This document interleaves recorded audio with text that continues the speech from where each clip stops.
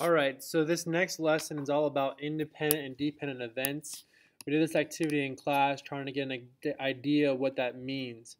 Independent meaning that it has the event that happens first has no real uh, effect on the second event.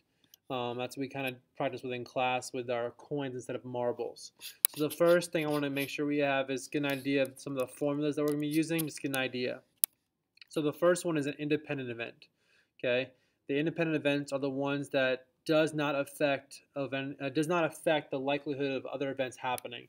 Um, this is our this is our like our example in class when we pulled one coin and then put it back into the cup in order to pull again. So every single time we go to pull, it's the exact same probability of getting each color. So the formula you see here is to figure out the total probability of an event that has multiple events happening is the probability of event A multiplied by probability of event B. And if you have more events, then you keep, keep going on and so on and so on. Okay, so the first example we're going to look at involves this one right here. You spin the spinner and flip the coin. What is the probability of spinning a prime number and flipping tails?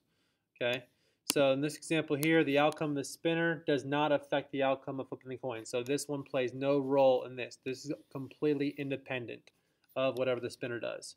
Okay, so the uh, probability of doing a prime number, okay, uh, we have a total of three of them, two, three, and five, things that cannot be divided or simplified more. That's why two, three, and five are. So three out of five of those are going to be uh, prime numbers the probability of flipping a tails is 1 out of 2.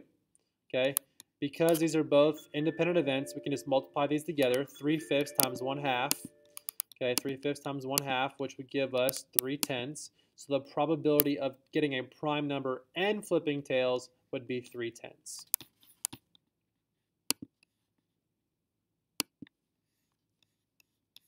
The next one, example number 2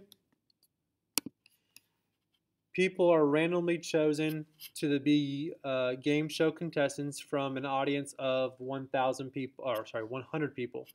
You are with five of your relatives and six other friends. What is the probability that one of your relatives is chosen first, and then one of your friends is chosen second? So the first thing I hope you notice is 100 people total, and within that 100 people, you have five relatives and six other friends, 11 people that you're either relatives are or you know of.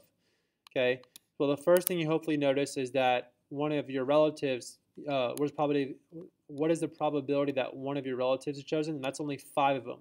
So that's five out of 100 for your first one. Okay, five of 100, which is 1 20th. Okay, and then one of your friends.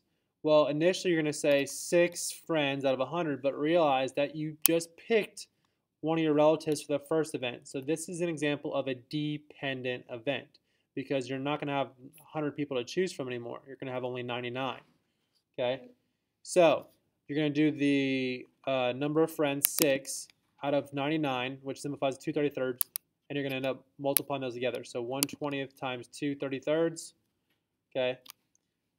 And you end up getting an answer of 2 and uh, 2 over 660, which simplifies to 1 over 330. All right? So that's the probability of getting relative first and then your friend right after that. Okay, so that's an example of dependent event. Um, formula, I didn't show it yet because I wanted to see that part.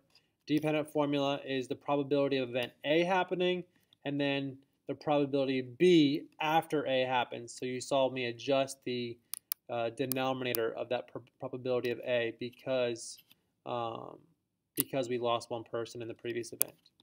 Okay, the last one, example number three. This one y'all might find mildly entertaining here. A student randomly guesses the answer for each of the following multiple choice questions. What is the probability of answering all three questions correctly? So you get all three. So you'll notice you have five choices for each one of these questions. Okay. So choosing the answer for one question does not affect the choice for the other. Yeah, so this is an example of independent events because just because you pick D doesn't mean you can't get two right or and three right or vice versa. Okay, so because of that, we know that each chance is a one in five chance. So one fifth, one fifth, one fifth, which means the likelihood of likelihood of us getting them all correct ends up being 1 fifth times 1 fifth times 1 fifth, which is 1 over 125. Okay. You also could, could have used the uh, fundamental counting principle, knowing that we have five options for each one. So you could have done 5 times 5 times 5. Okay. That would have been 125 possible outcomes, and we only want one possible way. We want them all right. So that's 1 out of 125. Okay. Hopefully that helps. Hopefully that makes sense, and I'll see y'all tomorrow.